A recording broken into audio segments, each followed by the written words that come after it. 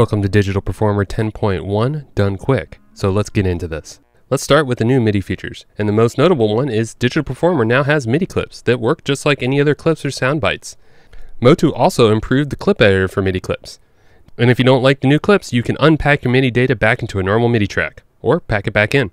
Retrospective record is now available, which means I can play some notes during playback or not during playback when record is not on, and then I can just go and drop that data straight into my project. There's a new velocity tool, which makes changing note velocity much easier.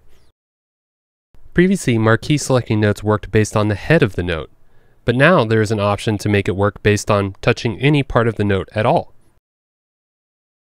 Digital Performer can either not send volume and pan for MIDI tracks with no automation, or it can send volume and pan for MIDI tracks without automation. Surprisingly, this is a pretty big feature for some people. The snip tool essentially removes time from a project, and originally it would leave the leftover note tails at the beginning of the snip. You can now hold Alt or Option to make these note tails adjusted to the beginning of the snip. Clips are a new thing in DP, so let's see what they've done with them this time. There's a new option that allows you to record MIDI directly into MIDI clips. And you can record audio directly into audio clips now, which is a feature that I was really hoping would happen. You can record your launching performance in the clips window directly to the sequencer, which allows you to work similar to other products like Live or Bitwig. Pretty cool. Since MIDI clips now exist in the sequence window, you can drag and drop between the clips and sequence window with MIDI clips. There are some pretty significant improvements to the interface, so let's look at those. Let's look at version 10 first so you can see those tiny little velocity dots that we've had to deal with. Then, let's jump over to 10.1 where you can see that they have made a huge improvement. And now I'll quickly blind you with a higher contrast theme. Isn't that wonderful?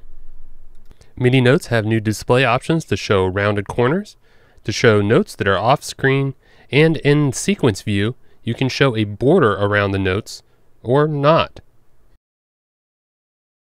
10.1 has a new punch indicator and a new memory cycle bar. 10.0 has this weird little thing that was annoying.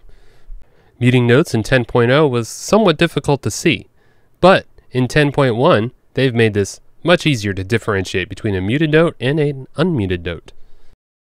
Assign tracks to all different colors now finally works correctly. Thank goodness.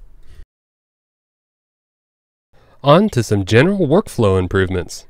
Digital Performer's bounce window has been improved with a number of options that were either there or not there before.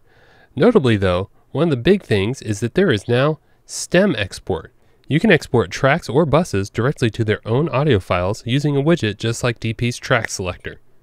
Duplicate used to only work on time selections, but now it works on any object. You can now have automation interpolation connect points directly from the last to the next, or you can optionally have it interpolate only at edit boundaries, which means that you won't have automation going wild while a reverb tail or some other tail goes on.